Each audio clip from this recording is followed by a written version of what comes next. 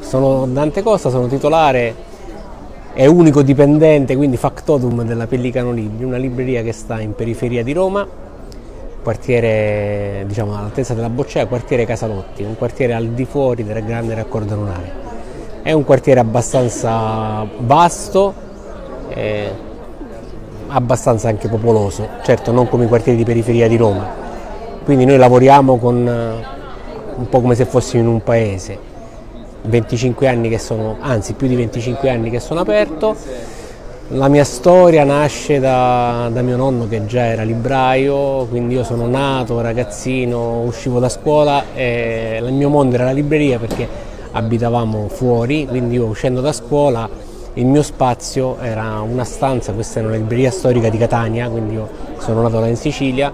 e la mia vita la passavo il pomeriggio in questa libreria dove dovevo studiare ma siccome poi il tempo era fino alla chiusura,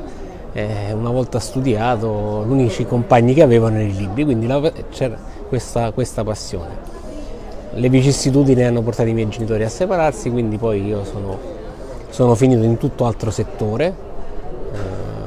eh, e poi nel 92, con il ritorno di mio padre a Roma, abbiamo intrapreso questa follia di aprire una libreria, abbiamo cercato una zona di Roma non negli anni 90 dove ancora non ci fossero questi grandi ipermercati, una zona dove non ci fosse una libreria, solo libreria e, e fino adesso ce l'abbiamo fatta. Senti, Siamo solo, libreria, solo libreria, quindi non ho mai venduto un prodotto che non sia il libro. Eh, il consiglio per il libraio esordiente? Libraio esordiente, grande, eh, deve essere, cioè, innanzitutto una passione, perché se, volesse, se lo fa a livello che è un'idea commerciale eh, devi lasciar perdere.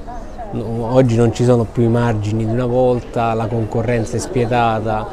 l'online purtroppo sarà sempre un nostro nemico e sarà sempre un nemico che non hai la forza da solo di poter combattere. Quindi una grande passione, quindi una passione, una conoscenza, devi essere anche, non ti puoi improvvisare, e questo è il consiglio che posso dare, grande passione vince. Vi saluto tutti,